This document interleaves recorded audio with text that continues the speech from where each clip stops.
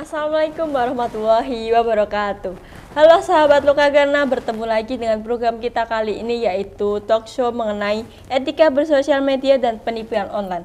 Perkenalkan, saya Resta Dana Wulandari, biasa dipanggil Resta dari kelas 12 MIPA 3 sebagai host kali ini.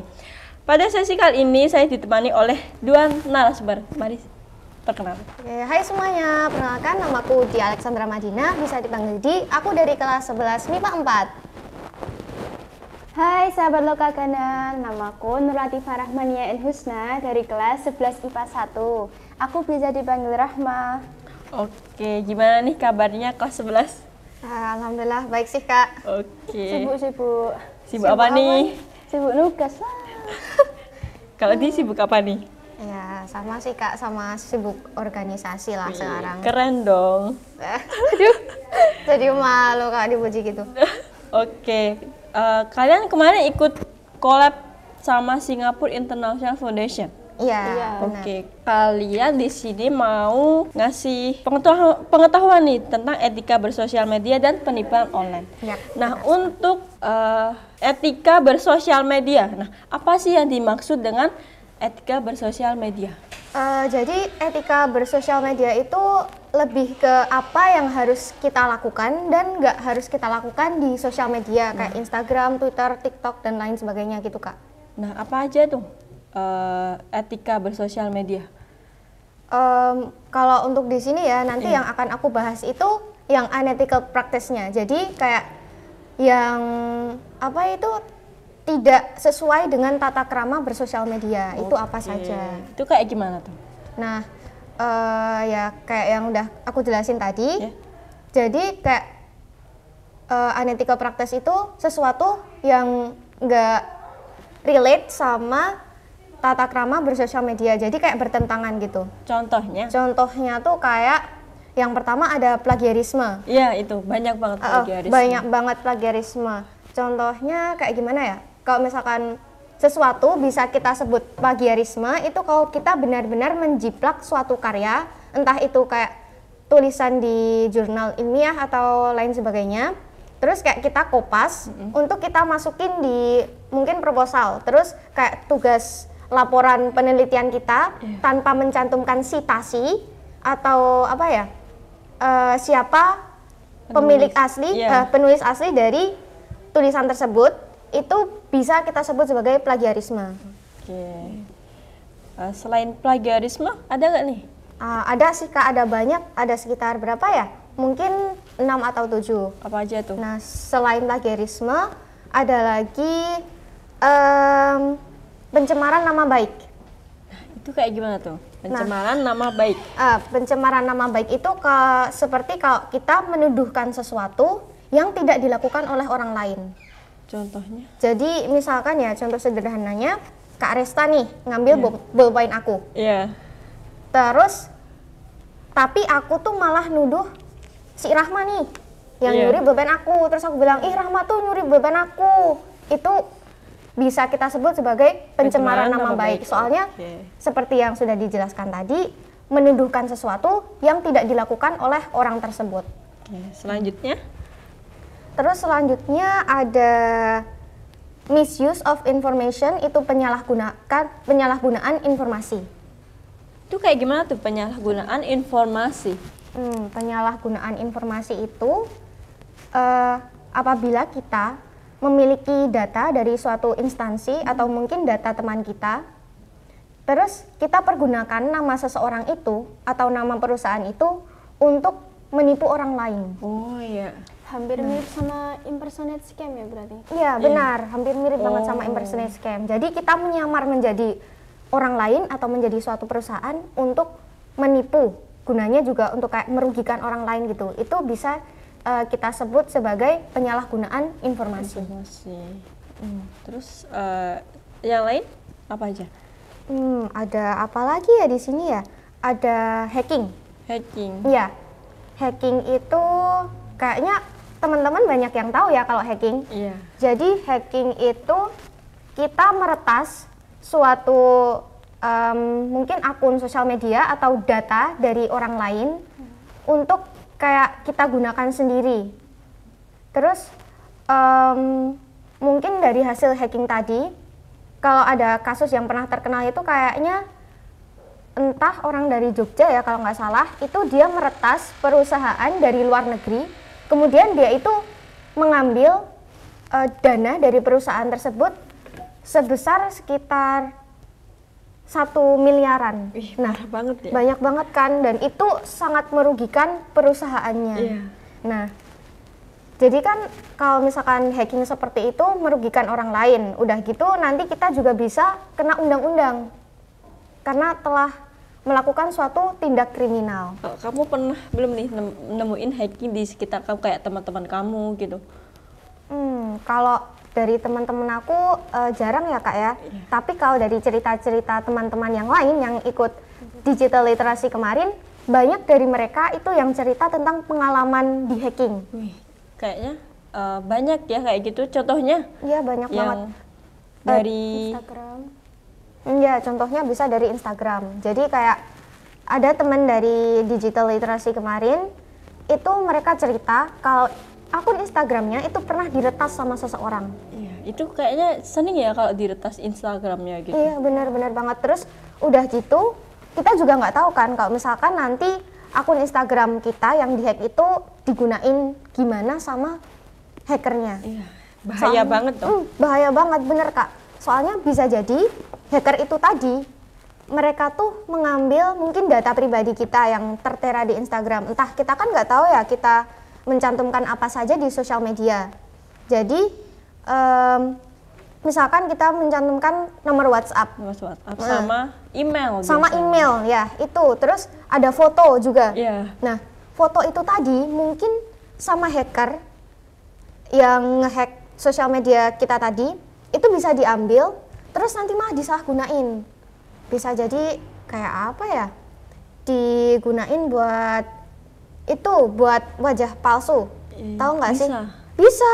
Jadi kayak ada kan juga kasus mereka tuh aku lupa apa namanya, tapi kayak mereka cuma ambil suatu foto seseorang dari mungkin Google. Iya. Terus bisa jadi nih tadi ngehack akun orang terus ngambil fotonya.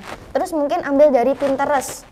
Nah, kan banyak kan ya di Pinterest itu Foto-foto gitu mm-mm, foto-foto cewek cantik, terus cowok ganteng. Iya. Nah, mereka ngambil foto itu, kemudian kayak mereka tuh menjadikan foto itu identitas diri mereka.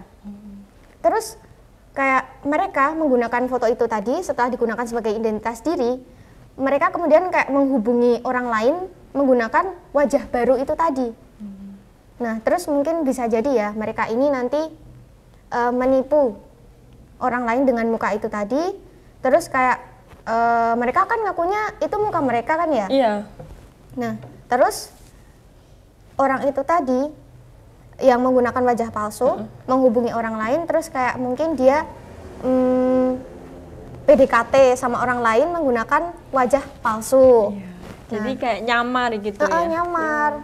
Nanti juga Masuk love scam. ya, agak masuk ya sama topiknya si Rahma yang love scam. Mungkin nanti bisa dijelasin lebih lebar lagi sama temanku Rahma. Oke. Terus Oke, untuk sanksi kalau melanggar itu ada nggak? Ada sih kak, tapi mungkin sebelum kita bahas soal sanksi, Heeh. eh, aku mau kembali lagi ke jenis-jenis unethical practice. Nah itu apa aja tadi? Nah tadi kan udah ada hacking ya, Iya. terus pencemaran nama baik, sama penyalahgunaan informasi. Nah itu masih ada lagi yang masih, lain? masih Apa? ada kak. Eh, ada lagi hoax, penyebaran hoax itu. Ya itu gimana? Nah, em, kayaknya sih tadi dari sesi-sesi yang sebelum ini sudah pernah Iya, dijelaskan ya yang udah. tentang hoax itu. Sama Mas Dava. Oh, sama Kak Oke. Dava. Nah, mungkin em, kalau teman-teman mau mengenal lebih lagi tentang hoax, bisa melihat video yang sebelumnya ya. Di sini aku mungkin bakal bahas hal yang lain lagi. Oke. Em, selain dari hoax, itu juga ada pelanggaran privasi. Terus ada juga yang namanya blackmailing atau Apa itu blackmail? blackmailing itu kalau dalam bahasa Indonesia kita bisa menyebut sebagai ancaman atau pemerasan. Oh. Nah, jadi itu kayak kalau misalkan ya kita di sosial media terus mungkin dapat ancaman nih dari pihak luar mm-mm. yang sekiranya merugikan kita itu termasuk blackmailing. Terus selain itu juga ada menurutku ya yang kasusnya masih sering terjadi nih di Indonesia dan sangat banyak di Indonesia itu cyberbullying. Oh, oke. Iya. Nah, iya kan kayak Mm. Banyak banget ya kalau misalkan mungkin kita main Instagram nih, terus mungkin main Twitter, TikTok, terus eh, ya mungkin sosial media yang lain kit- kita itu banyak menemukan yang namanya Komentar jahat. eh, komentar jahat yang termasuk ke dalam cyberbullying. Nah, di mana cyberbullying ini bisa em, kita kate- kategorikan sebagai ke- misalkan ya body shaming itu termasuk ke dalam cyberbullying. Oke, yang Kan, lainnya? Eh, terus yang lain mungkin ya kalau misalkan kita mengolok-olok selain fisik mungkin dari perilaku seseorang. Jadi kita kayak menjelek-jelekan seseorang tanpa mungkin kita mengenal jauh orang tersebut itu bisa kita sebut sebagai cyberbullying. Oke. Nah, itu sih kak. Oke, untuk sanksi ini nih. Sanksi un- kalau melanggar itu ada nggak? Ada. Apa itu sanksi? Nah, sanksi kalau misalkan kita melanggar unethical practice ini di Indonesia sendiri sudah ada yang namanya UU ITE. Nah, itu yang kayak gimana UU ITE? UU ITE itu Undang-Undang Informasi dan Transaksi Elektronik. Nah, undang-undang ini sudah ada sejak tahun 2008 dan direvisi tahun 2016. Dan aksi-aksi yang mungkin dilarang dalam undang-undang ini yang mungkin nanti kita bisa laporkan melalui undang-undang UU ITE itu ada menyebarkan info- informasi palsu atau hoax. Hoax itu Terus? tadi terus. Ada pencemaran nama baik. Oke.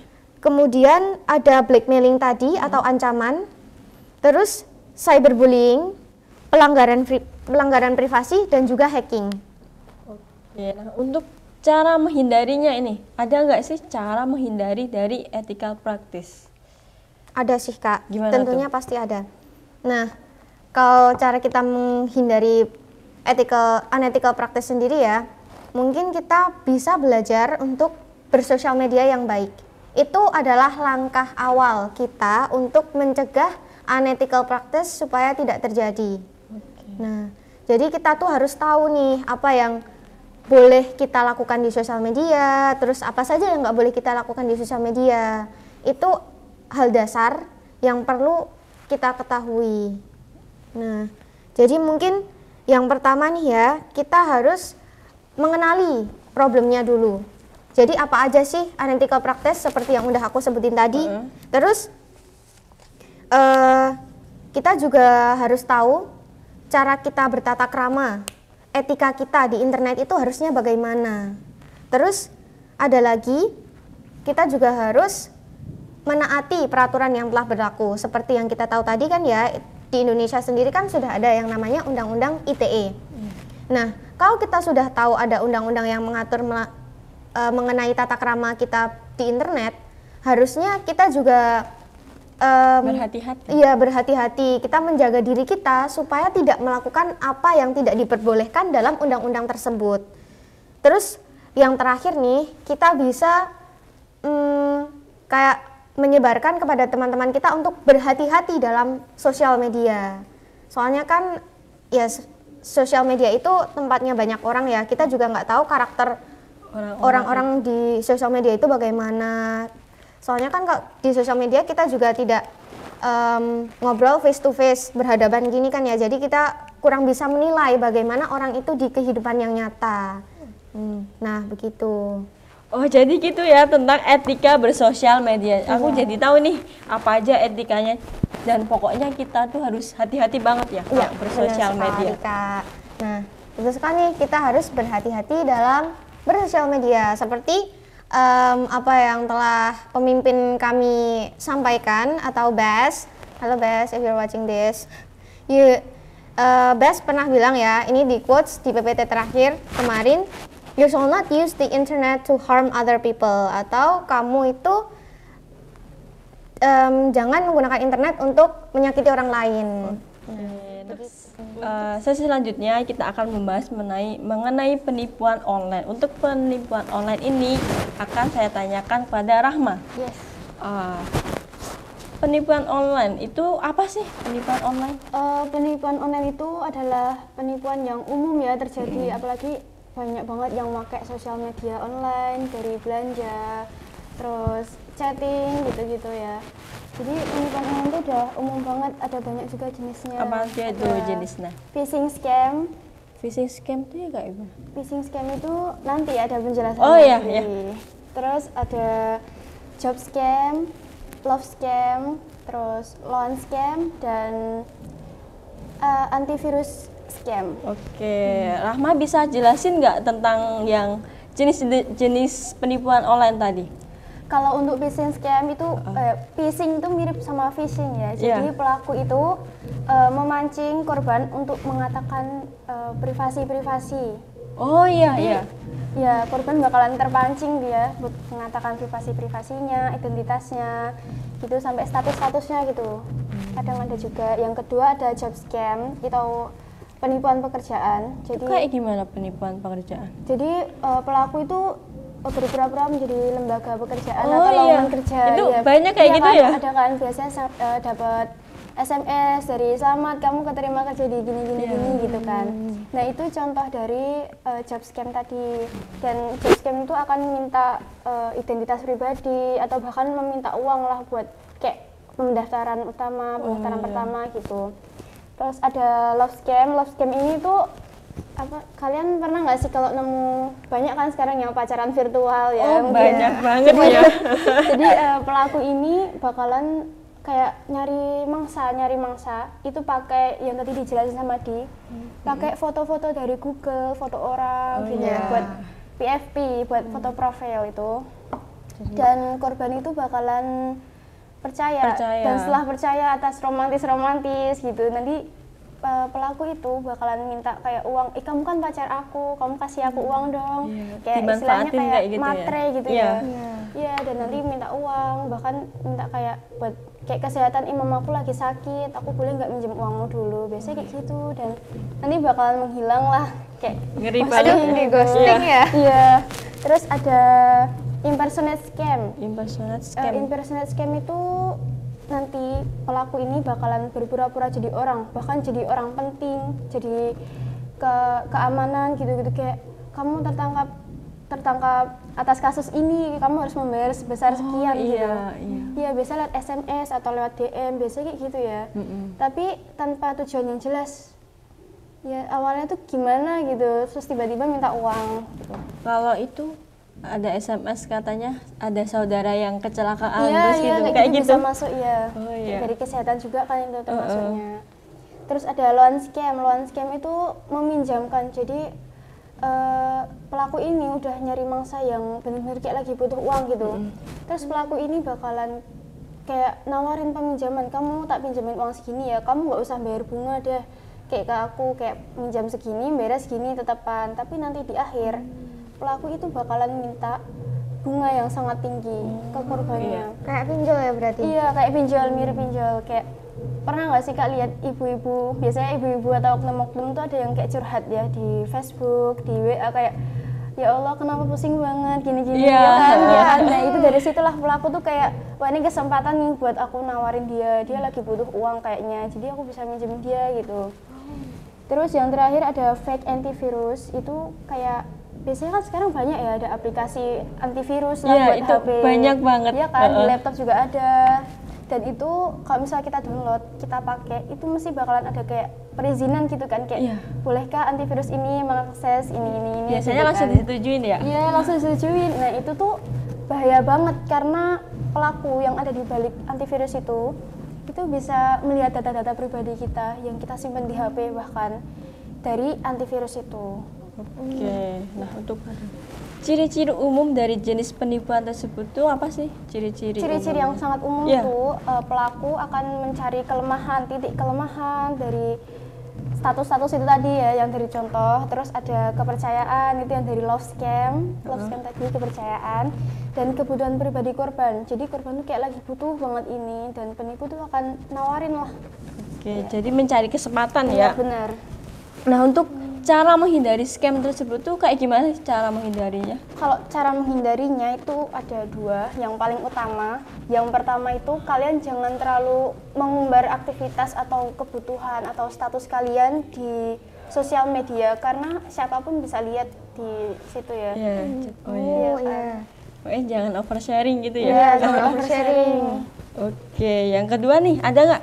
Yang kedua jangan mudah percaya sama orang baru, bahkan sama pacar. Ya, Sama pacar orang- online tadi. Iya, pacar online apalagi. Eh, pacar itu kan orang lain kita ya Iya. maksudnya. Apalagi kita sama orang tua aja butuh privasi, apalagi sama orang luar gitu. Oke. Jadi gitu aja ya seputar penipuan online dan cara menghindarinya. Ya. Oke. Baik, terima kasih kepada Di Alexandra dan Rahma yang telah memberikan uh, ilmu pengetahuannya mengenai etika bersosial media dan penipuan online. Terima kasih kembali. Terima kasih kembali ya Kak Rista. pada episode selanjutnya kita akan membahas mengenai cyberbullying.